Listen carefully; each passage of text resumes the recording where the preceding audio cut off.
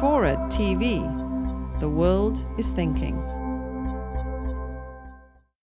New York Times review of your new book um, asked a question. Why, if a majority of Americans are liberal at heart, only a minority identify themselves as liberals? Yeah, well, that's why I wrote the, wrote the book.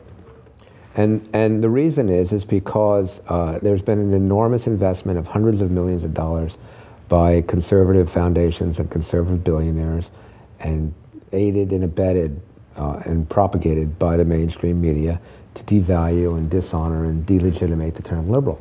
And for a long time, I couldn't figure out why they spent so much time on the word liberal and ignored the word progressive. Because actually, right now, if you're an American politician and you call yourself a liberal, you have automatic about 22% support. If you say you're a progressive, you shoots up to 41. Mm-hmm.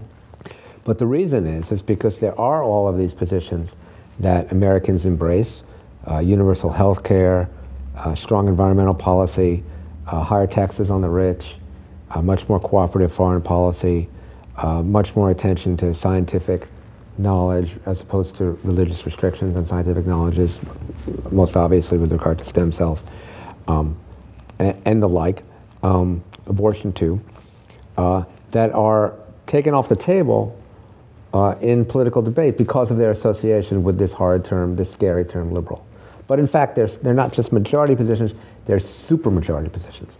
And it's my argument that if we can rejuvenate, re-honor, and refill this word liberal uh, with what it has meant historically in the past and still means to me today, we can break this logjam and, and have the liberal country that Americans say they want.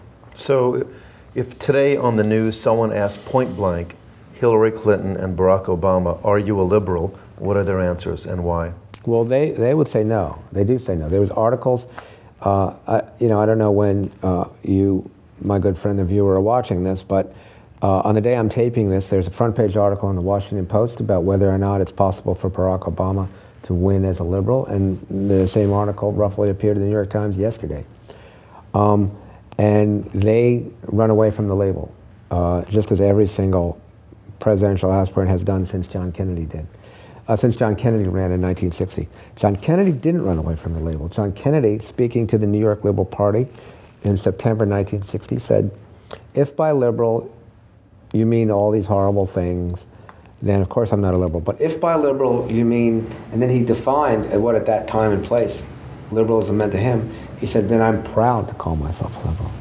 And maybe Kennedy felt like he lived in a time where he would have enough time to make that explanation, and we don't live in one like that today. And that's why Obama, et cetera, is unwilling to do it. I wrote a column in The Nation uh, asking Obama to do this. You know, I, made, I gave him the Kennedy code. I thought it would be useful.